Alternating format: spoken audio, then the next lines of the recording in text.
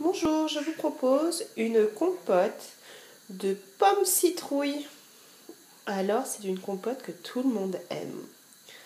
Avec 6 pommes, 2 sachets de sucre vanillé et à peu près 1 kg de citrouille. On va la faire cuire au micro-ondes. Donc là, on va éplucher et couper en petits dés pour le mettre dans un plat. Un plat comme ça. Voilà. Allez, à de suite.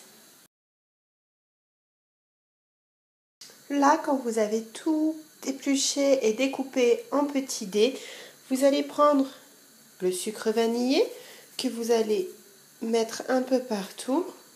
Alors vous versez bien les deux sachets. Alors, il n'y a pas besoin de beaucoup de sucre hein, pour un, pour faire de la compote, vu qu'il y a les pommes plus la citrouille qui sont quand même des fruits qui sont relativement sucrés. Pas trop de sucre, c'est très bon. Euh, vous allez prendre l'équivalent de 5 cuillères à soupe d'eau que vous allez verser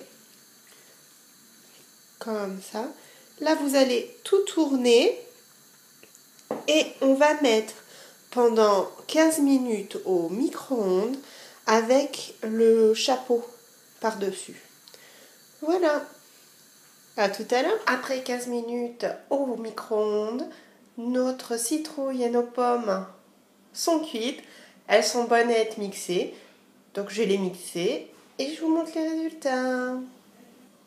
Ma compote est mixée, je vais attendre qu'elle refroidisse un peu et après je vais la mettre au frigo pour qu'elle soit bien fraîche.